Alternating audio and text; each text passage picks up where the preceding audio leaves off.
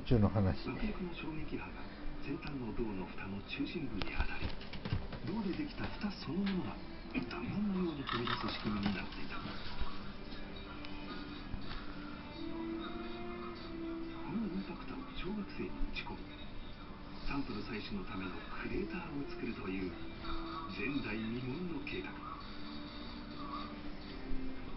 そもそもはやぶさ2にインパクターを積むきっかけとなったのは初代はやぶさの責任者を務めた川口プロジェクトマネージャーのこんな一言だった。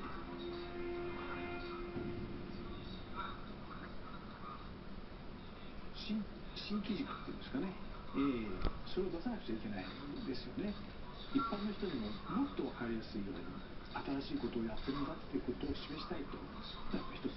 貴重な重要なことだと思ってますね。当初は2機の探査機を飛ばし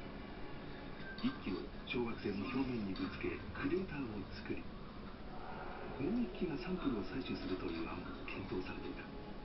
しかしコストがかかりすぎるという理由でこれは断念そんな中飛び道具担当に指名されたのが JAXA の若手研究員佐伯隆直だった。2009佐伯を中心にさまざまなアイデアが検討された。ドリルを使って穴を掘る案あるいは小型ロケットを打ち込む案しかしどの方法も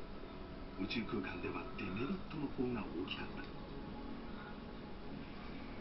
重力のない小惑星でドリルを回せば探査機の方がぐるぐると回り100度を超える表面の熱によって探査機そのものが壊れる危険性があるまた小惑星にロケットを打ち込めば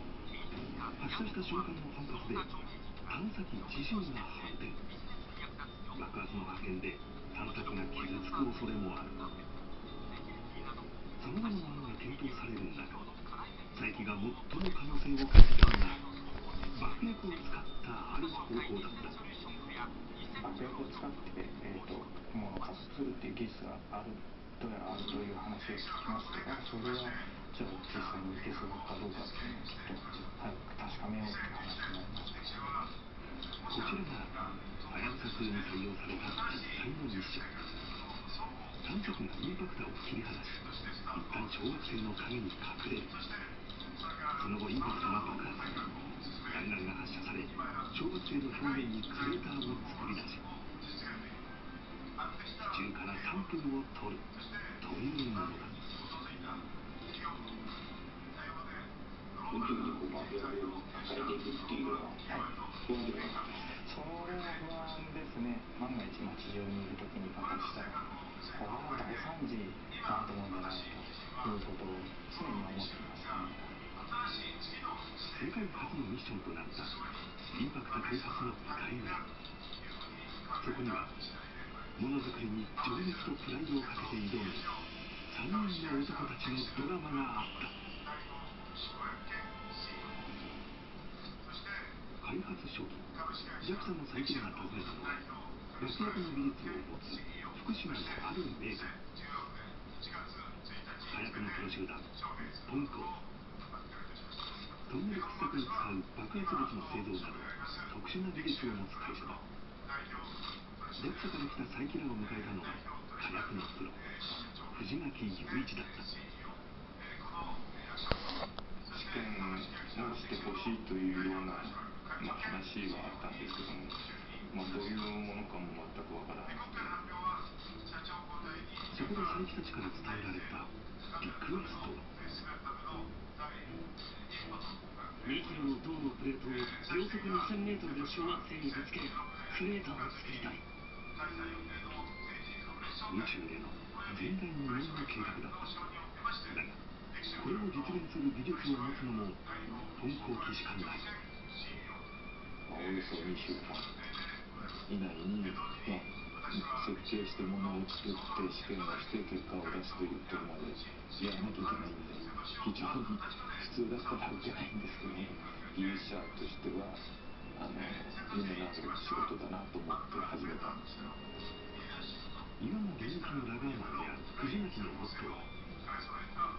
ピンチの時こそチャンス。その思いを胸にこの仕事を引き受けた最も困難になると予想されたのは悪役を。詰めるケースの設計果たして JAXA の希望に沿うものができるのか。ちなみにこれが最初にできたインパクタの試作品弾丸に変形す。る銅のプレートと悪役を詰め円筒形のアルミケースす。ぐに実験が行われた狙い通り爆発の衝撃で打ち出された銅のプレートは砂を直撃その衝撃でクレーターができた成功だった JAXA の依頼を受けてわずか10日後のことだ2011年1月日本航機でインパクトの開発がスタートした。彼らが当時のメンバープロジェクトのリーダーは藤巻だった。しかし大きな壁が立ちはだかる。想定してい。たインパクトの重量30キロところがその後 JAXA から提示されたのは10キロ以内さらに実証試験を10月。には行い。たい。とい。う試験までわずか9ヶ月。藤巻たちはすぐにケースの設計のやり直しから始めた重さを3分の1にするにはどうすればよい。のか設計担当者は何度も何度も設計図を書き直したその数実に100枚以上僕のコンピューターは年々年中無休であの休みもないしあの時間も夜も見ないで動いてました。です全体の重量を落としても威力は従来通りでなければならないたどり着いた答えは円錐形。ケース本体の重さのリミットはわずか2キロそれでもやるしかなかった完成した図面が送られたのは同じ福島にある石川製作所航空機の部品加工など高い金属加工技術を持つ会社だ担当したのはこの道30年のベテラン吉田武吉田は18歳から金属加工一筋でやってきたスペシャリストまあ、常にこういうその品物っていうのはですね、難しいものになってくると、まあ、チャレンジ精神でいくしかないんですよね。えーこれがですね、あのアルミのインパクターのですね、ケースの材料になります。えーと重さでいうと、材料の状態で、えー30キロあります。まあかなり重いんですけども、このこの状態でも。インパクトのケースを図面通りに作るには重さ30キロのアルミの塊が必要これを削り出してリミットの重さ2キロの完成品を作る一方日本航機でも宇宙環境に耐える爆薬作りが始まっていたこのすごいものような粘りを持つ爆薬はハンマーで叩いて被爆しないほどの安定性を持っているという。Impactem odissíos